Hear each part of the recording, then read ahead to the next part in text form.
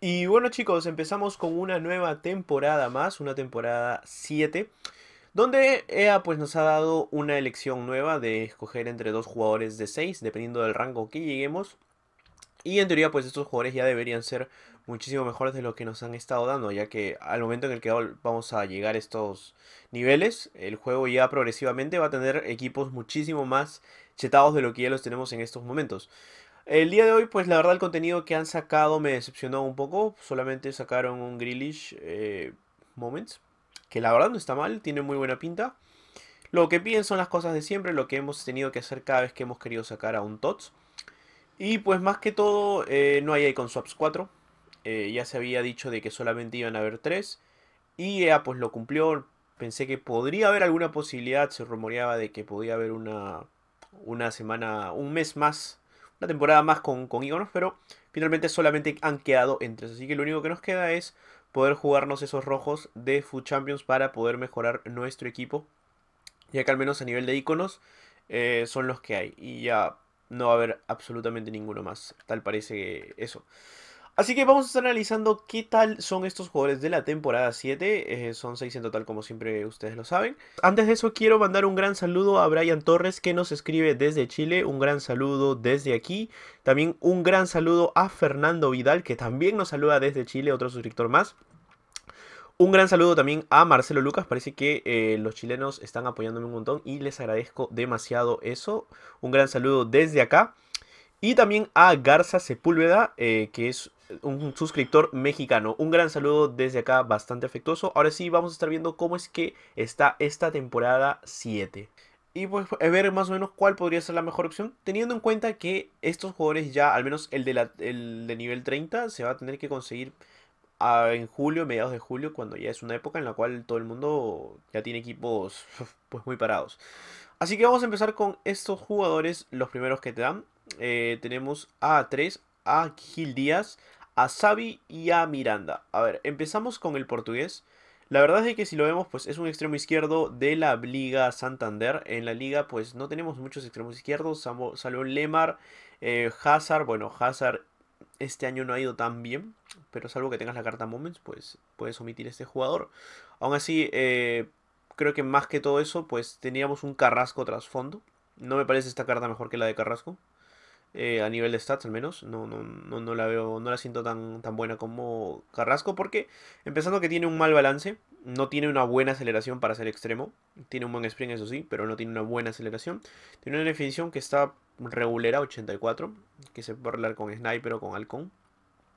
Y tiene una mala compostura de 83. O sea, para las alturas en las que ya estamos en el juego, a eso me refiero.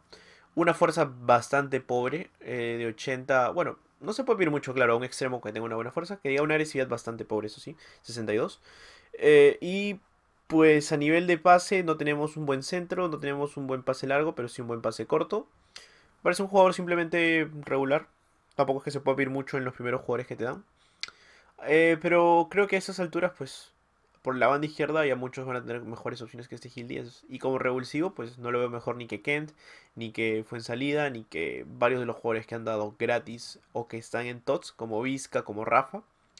Pues no me parece una muy buena opción este Gil Díaz. Vamos con Xavi. Xavi que no tiene una buena nacionalidad ni una buena liga. Eh, juega en la Superliga 3F. Por lo cual revulsivo sí o sí. 4 de skills, 4 de pierna mala, 1,78m. Tiene una muy buena aceleración junto a un muy buen ritmo. Tiene una mejor definición. Tiene una muy buena agilidad, un muy buen balance, aunque las reacciones están ahí bastante pobres. Tiene una muy buen regate y una mala compostura. De ahí eh, no tiene fuerza casi. Y una muy buena energía. Aunque claro, teniendo en cuenta que este es un jugador de 1,68m, no llega al 1,80m. Y tiene medio en ataque y bajo en defensa. Pues eh, no es la gran cosa, pero aún así es una mejor opción que, que Gil Díaz. Lo veo así, claro, como, como revulsivo, definitivamente es una mejor opción. Y por último tenemos a Miranda, el lateral izquierdo eh, español. En el cual pues tenemos una selección de 87 junto a un sprint de 92. Eso con sombras se arregla. Eh, a nivel de tiros, nada destacable. A nivel de pase, pues lo único que tiene un pase corto y un buen centro. Digamos que bastante, bastante buenos. Al menos los centros sí están bastante buenos y el pase corto regular. Eh, en defensa, pues tenemos una, una defensa de 88 que está bien para ser lateral. Está bastante bien, 88. Y una energía 92 suficiente, aparte de que es un jugador de 1,85m, así que te va a cubrir bastante bien, medio en ataque, medio en defensa, es quizá lo único que no me gusta. Así que este jugador debe ser una versión eh, como el Marcos Alonso Flashback, pero no el Premium, sino el otro. Yo lo imagino más o menos a ese nivel. Eh, por ahí, por stats, lo veo más o menos así, por la talla y por los Warrakes, también más o menos debe ser así. Así que eh, en rasgos no tenemos ninguno. Así que yo creo que dentro de todo este Miranda es la mejor opción de estos tres. Salvo que necesites un revulsivo como Sabi, pero como les dije, ya a estas alturas, revulsivos creo que es lo que más sobra en este juego. Y Miranda, pues tranquilamente puede ser titular en una Bundesliga. Eh, si no tienes a un Davis Tots, si no tienes a un. Incluso está mejor que Rusillo en Footmas, para aquellos que todavía lo siguen utilizando. Eh, me parece, sí, una bastante buena. Incluso me parece mejor que Schultz Winter Refresh, así que también sirve la nacionalidad para ser híbridos. Vamos con los jugadores que en teoría deberían valer la pena que son Gabriel Jesús, Matuidi y Draxler. A ver, empezamos con el de la Premier. Por lo general, la, Premier se ha caracterizado por, en teoría, dar el mejor jugador tras fondo. Pasó con Fred, que para muchos era el mejor, aunque Carrasco para mí no estaba mal. Pasó con eh, Kovacic, que también. Pedro, aunque Gotze también era una muy buena opción. Y acá este Gabriel Jesús, por la nacionalidad, por el equipo, porque es Gabriel Jesús el chetado de todos los FIFAs. Y con unas stats que parecen eh, estar al nivel de un TOTS. Parecen. Vamos a ver si es que en verdad es así. Tenemos una... Eh, bueno, elevado en ataque, elevado en defensa, 1,75m, 4 skills, 3 de pierna mala. Ya es algo que no me gusta, 3 de pierna mala. Yo sé que Gabriel Jesús a veces puede, puede rematar muy bien con zurda y con diestra, pero 3 de pierna mala para Julio. Aún así vamos a ver sus stats, una aceleración de 96, un sprint de 91, una aceleración que está bastante bien. Definición de 93, muy buena. Eh, tiene un buen efecto, más o menos, un efecto de 86, que no está mal. Pase corto, más o menos. Pase largo no tiene. Centros tampoco tiene. Y no tiene visión mucho. Bueno, tiene una visión buena, digamos. Una agilidad buena, buen balance, buenas reacciones, buen control del balón. Bueno, a nivel de regate está bastante bien. Solo que la compostura, que tampoco está mal, pero todo está a nivel de regate muy bueno. Y en físico, pues tenemos un salto de 88, energía de 94. Una fuerza que sí, bueno, no es mucha. Y una agresividad de 83. Unos rasgos donde prácticamente ninguno nos sirve con estilo. No, nada. A ver, Gabriel Jesús me parece una muy buena carta. Habrá gente que obviamente va a ir por él. Más que todo porque es un fan favorito. Pero 13 es pierna mala. O sea, yo, yo siempre les he dicho que, no es el meta nunca. Y que los jugadores de 3 pierna mala te limitan bastante. Basta que un jugador que sepa defender te cubre la pierna buena y con la pierna mala ya no haces nada. Por más de que tengas 93 de definición. Yo creo que Gabriel Jesús mm, es como que un... Creo que ahí las otras dos opciones pueden ser mejores. Vamos con Matuidi. Matuidi que tiene buenos links. Bueno, al menos te puede dar un link verde con Cristiano Ronaldo y con Dybala Tots. Eh, de ahí en más, pues... Eso básicamente. Y claro, como es francés, te da link con todo el mundo. 1,80m, medio, medio en ataque, elevado en defensa. Eso está bastante bien. Dos de skills, dos de pierna mala. Mm, la pierna mala pudo ser mejor al menos. Eso quiere decir que es zurdo y nada más que zurdo. Con la diestra no puede dar ni un buen pase. Una aceleración de 90 junto a un 185 bastante bien. Es un MCD, aunque para las alturas de julio ya todo el mundo ya tiene que correr 90, más de 90. Eh, tiros nada que ver, salvo la fuerza de tiro y un tiro largo. No así no remataría con él nunca. Pases, una visión de 86. Un buen pase corto, un buen pase largo. Está bastante bien para un MCD. Una agilidad que diría que está brutal para hacer un MCD. O sea, en serio, un MCD con esas stats de agilidad me parece muy, pero muy buena. En defensa, pues, ¿qué se puede pedir? Un, un, un MCD top. Le ha puesto las stats que seguramente tuvo en el Mundial. 96 intercepciones, percepción de defensa de 95, entradas de 94, barrios 96. Me parece bastante buena en esas, esas stats de defensa. Y un físico envidiable, pues, a nivel de todo, menos el de la fuerza, que pudo ser un poco mejor, pero una energía de 99, un salto de 95, una buena agresividad y una fuerza. En rasgos tenemos un jugador sólido, que es un muy buen rasgo. Y tiro colocado, eh, que, pues, ¿para qué? Si es que al final tiene definición de 70 y remate y un efecto de 70, o sea, el tiro colocado prácticamente no nos va a servir. Eh, jugar sólido sí mejora mucho las lo hace que el jugador sea, digamos, un poco mejor de lo que pueden ser las estancias. Así que yo considero que Matuidi es una muy buena opción. Diría que entre Gabriel Jesús y Matuidi, Matuidi me parece una mejor opción.